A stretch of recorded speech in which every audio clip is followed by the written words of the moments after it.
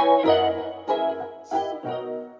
is a quick walkthrough on how to add fall damage to your 2D platformers. I'm going to start by setting up a new project. I'm going to name this fall damage. And now I'm going to add a cube to my scene and I'm going to name that player and I'm going to remove the box collider and add a box collider 2D. And I'm also going to add a rigid body so we can get that moving later. I'm also going to add another cube and name that platform and do the same. Remove the box collider and add a, add a box collider 2D. And feel free to use your sprites. I'm just using these because it's quick. I'm going to scale it so it looks a little bit more like a platform and then I'm gonna duplicate it and set a quick scene. I'm gonna set one of the platforms really high so we have somewhere to fall from so we can test it. I'm also changing my camera background to something a little bit more pleasant to look at. And now I'm gonna add my player script and quickly set up a very basic movement. We need some variables, a private rigid body 2D, I'll name that RB, a public float speed, so we can set how quick our player moves, a private float, float move input so we can keep track of the player's input. In my start function, I'm just going to set RB to the rigid body component that's attached to our player. And then in my update function, I'm going to set the move input to the player input by using input dot get axis horizontal. And I'm going to change the velocity of the rigid body by setting it to a new vector 2. And for x, I'm going to use speed multiplied by move input multiplied by time dot delta time and the y-axis I'll leave as it is. Now I'll go back to my script and I set the speed to 100 and I think later on I changed my mind and set it to 150 because it felt a, a bit better. So now we can move left and right and let's also let our little cube jump. We need a public float jump force and now we're to check if the player is pressing the jump button by using input dot get button down and then jump and if that's the case, we'll change the velocity. Again, using rb.velocity equals vector2.up multiplied by the jump force. So now if we go back to our scene and go to our player script, we can set the jump force to, let's say, 10.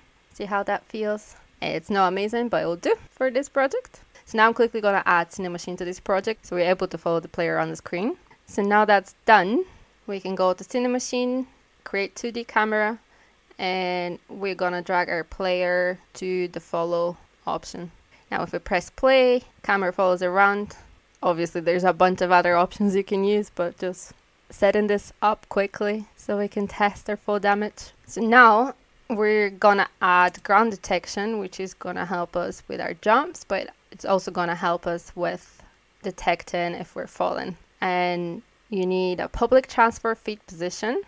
You need a public float check radius. And a private boolean is grounded. And we also need a layer mask, which I'm naming what is ground. So now at the very top of our update function, we want to check if the player is grounded. And we can do that by using physics2d.overlap circle. And as variables, we give it the feet position, dot position, and the check radius, and also the layer mask. So now we can add that to our jump check. So we ensure the player can jump in air because currently we can basically fly.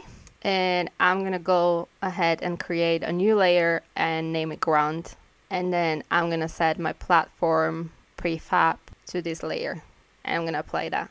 Now I'm gonna go to my player script, set what is ground to the ground layer. And I'm also gonna go ahead and create an empty object as a child of the player object. And I'm not gonna name this feet position. Position that at the bottom of your cube or sprite. And now we can go ahead and set the rest of the variables for the player script. I'm going to set the check radius to 0.5 and now I'm going to drag the feet position object into the feet position field. So now we can jump around and we can double jump. And now it's actually time to add the fall damage code. So we need two booleans, one called first time and one called is fallen. And I'm to go ahead and set first time to true and it's falling to false. We also need a vector 3. I am naming this previous position. This is to keep the previous position of the player. And we also need a float named highest position to keep the highest position of the player when it starts falling. And I'm going to go ahead and initialize this in the start function and just set it to transform dot position. Now in our update function, we want to check if our player is not grounded. So there's a possibility that player is fallen and we want to check if the player is going down. And we can check that by comparing the current transform position and the previous position. So if the current transform position dot y is less than previous position dot y, then we are falling. And we also only want to do this check once per fall. So that's what we use this first time boolean for. So now first thing we're gonna do is set this variable first time to false. So we don't do this check again for the same fall. And we're gonna set our is fallen variable to true. So we know that the player is fallen and we're also gonna save the position in which the player is right now at the beginning of, of its fall in the highest position variable. And within this grounded if statement, we also want to change previous position to the current transform position. So while the player is in the air, going up or going down, we're keeping track of the previous position. You can also go ahead and put this at the end of your update loop so you keep track of the previous position of the player throughout the entire game. Now we want to check if the player is on the ground, if it was falling before they touched the ground. And if the player was falling, we want to check how far did they fall. So we take the highest position and we subtract the current position and we want to check if that's bigger than a number.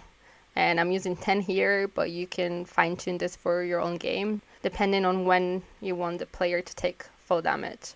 And I'm also setting its falling to false because we're not falling anymore, and first time to true. So next time the player is falling, we go through the previous if statement and we check again if the player is falling. Right, so now we need a way to actually do damage to the player. So I'm gonna go ahead and add a private float health and set that equals to six, which is just a totally random number. And I'm gonna create a function called take damage, which takes a float and subtracts that from the health variable. And so I don't bloat this tutorial, I'm just gonna debug.log the health in the console, but you should totally link that to your UI. And now let's test. So we fell, we took damage, and now we're just jumping around at a reasonable height, and we're not taking damage. And that's about it.